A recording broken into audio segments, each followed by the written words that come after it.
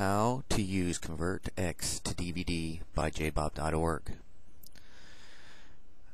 Here's ConvertX to DVD, and here's the AVI file that we are going to convert and put it onto DVD.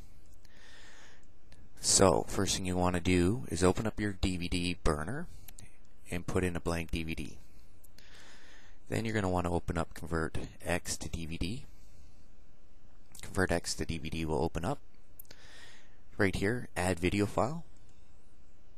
You want to select your desktop or wherever the file is located. Basically, ours is on desktop. We're going to select the video. We're going to click on open. And that's basically it. Since your blank DVD is in your DVD burner, just hit convert.